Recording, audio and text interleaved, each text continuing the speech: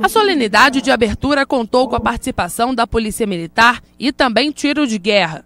Atentos, os atletas olhavam para as primeiras orientações.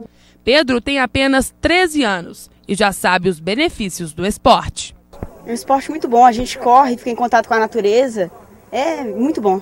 Mas o que é o esporte de orientação? Essa modalidade ainda é pouco conhecida, mas tem ganhado muito espaço. A orientação é um esporte é, que tem como campo de jogo a natureza. É um esporte que você trabalha 100% a parte física e 100% a parte intelectual. É um esporte hoje que tem como slogan um esporte para estudante.